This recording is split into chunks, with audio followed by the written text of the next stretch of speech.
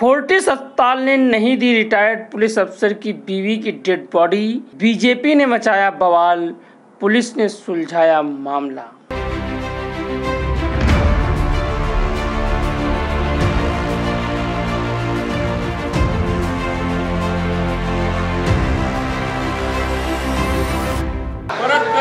परत करा. Dead body परत करा. मयत झालेल्यांची डेड बॉडी परत करा. आमच्या नातेवाईकांची डेड बॉडी आम्हाला.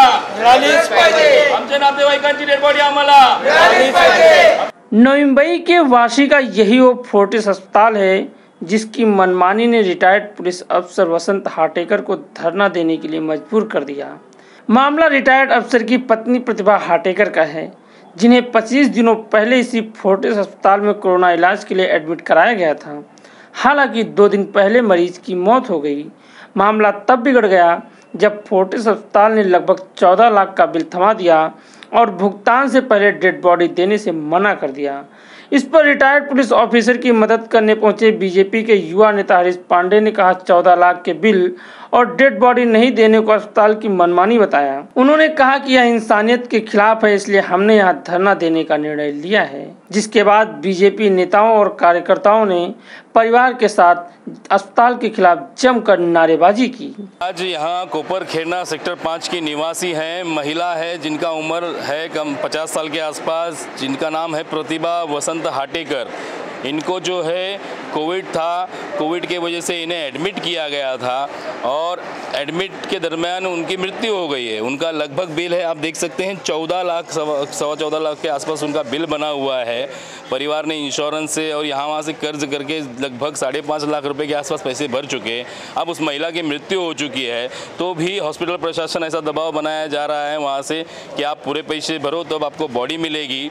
और अगर आप पैसे नहीं भरेंगे तो आपके ऊपर लीगली एक्शन लिया जाएगा, आपके ऊपर लीगली कार्रवाई की जाएगी। ये कौन सा न्याय है? आदमी शरीर छोड़ चुका है, जान जा चुकी है। आज इनकी उम्र देखिए, इनकी उम्र है क्या पैसा भरने लायक? ये इतनी बड़ी अमाउंट कहाँ से लाएँगे? हमने आयुक्त कमिश्नर नवी मुंबई के आदरणीय श्री अभिजीत बांगर जी को इस बारे में बता दिया है। उन्हें इस बारे में हमने मैसेज भी कर दिया है। उनके जो आदेश की प्रतीक्षा कर रहे हैं, क्योंकि ऑलरेडी इस हॉस्पिटल के खिलाफ बहुत सारे कंप्लेंट्स है नोटिस भी आयुक्त ने इनको दी हुई है। जब नवी मुंबई करो को ही इस नवी मुंबई के हॉस्पिटल का फ़ायदा नहीं है तो इसका फ़ायदा होने वाला किसको है?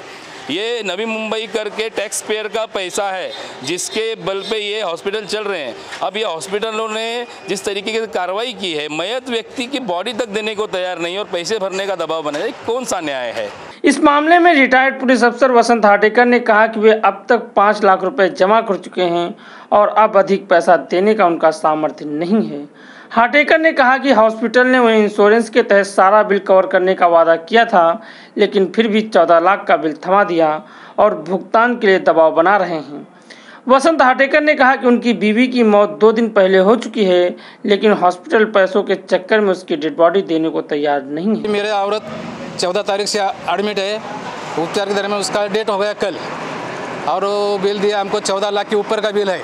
अभी इतना पैसा भरने की मेरी औकात नहीं है। फिर भी मैं उनका पॉलिसी था, मेरा तीन लाख का पॉलिसी था, वो हॉस्पिटल में दिया। और इधर से उधर से जय मार के सबको हाथ पैर जोड़ के पचास पचास हज़ार करके पाँच टाइम में अढ़ाई लाख भी रुपया भरा है। अभी मेरे पास पैसा नहीं, मैं पैसा नहीं भर सकता है। अभी ये लोग बॉडी नहीं दे रहा है, वो बोलता है, तुम अंडरटेकिंग लेटर दो, बाद में पैसा देगा। नहीं तो ब्लैंक चेक दे दो। रात को 11 बजे डेट हुआ है। अभी तक बॉडी दिया नहीं। वो बोलता है, पैसा भरो और बॉडी लेके जाओ। मेरा डिमांड है, मैं पैसा नहीं भर सकता है। मेरे औरत का डेड बॉडी मेरे ताबे में दे दो, बस।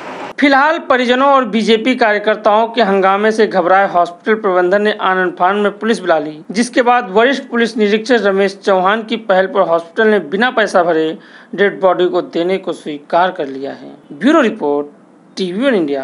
Latest update और खबरों के लिए टीवी वन इंडिया को सब्सक्राइब करें और नोटिफिकेशन पाने के लिए बेल आइकॉन को दबाना मत भूलें।